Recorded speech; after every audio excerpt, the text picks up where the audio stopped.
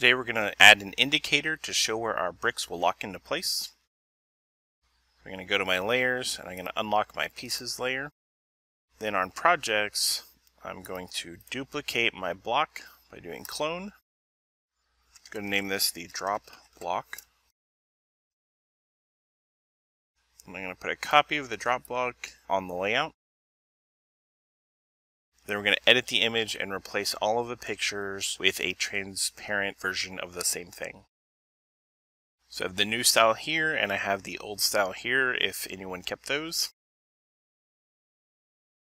So we're going to switch each one of these out with its corresponding transparent version.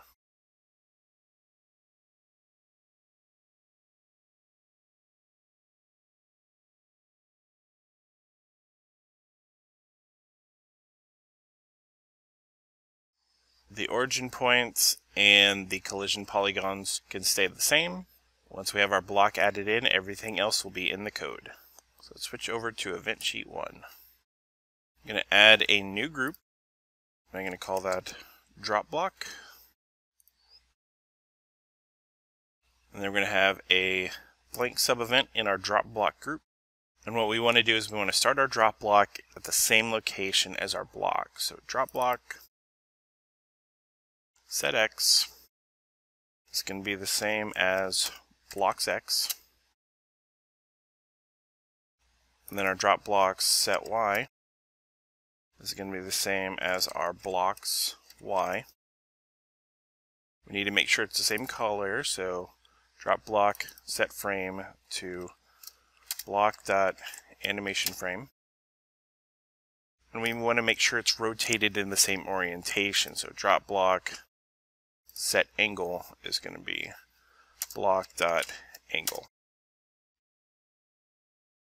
Then let's add a sub event also in the drop block group.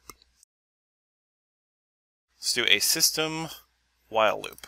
What we want to do is we want to drop the block one square at a time until it comes to a collision with the board or a board block. So let's add another condition. Drop block is overlapping at offset with the board. Y offset is block size. We will copy and paste that guy. And we're also going to check for board blocks in the same place, zero block size. And we want to invert those. So while we're not overlapping the board and while we're not overlapping the board blocks, we want to continue moving our drop block down drop block, set y, self.y plus block size. Then we'll add a blank sub event to the bottom where we set our group active drop block to deactivated. So we only want to run this one time so that this loop is not constantly running all the time. So we'll just set this active every time something changes that would change the location of our drop block. So we'll set this active every time something changes that would modify our drop block's orientation or position. First time we'll need to do this is when we create a new block. So we're going to create a new block when there are zero blocks. So let's add a blank sub event at the bottom copy my set drop block deactivated. I'm going to paste that here and change it from deactivated to activated. Then I'm going to recopy this action to paste it later.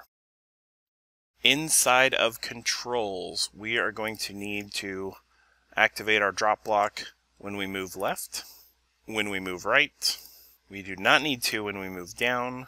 We will need to on our rotation. I'm going to add an else block for instead of rotating back, we will add our drop block in instead. So in our rotation, if we can move, we test to see if we can rotate it. If the rotation is not okay, then we rotate it back. So if we don't rotate it back, that's when we would need to update our drop block. So let's do the same thing on our Z press. Add an else, paste in our action. Since our controls for space do not spawn a new block, we do not need to add it here. we will need to place it whenever we do a swap. So our swap happens here, then we test it, and if it tests to be okay, then we check for adjustments needed to the yellow block. So let's add in a blank sub event so that our drop block happens after any adjustments are made to our block. Let's test that to see how it works. So we have our green block, it appears to be showing up in the correct location. When we rotate it, that seems to work okay. Another block seems to show that it would stop on top of our block that's already been placed. It updates okay when it rotates. So when it rotates and that seems to be overlapping a block, it will put it in the correct location. So everything looks okay now, so next time we will add in the ability for our game to have an end.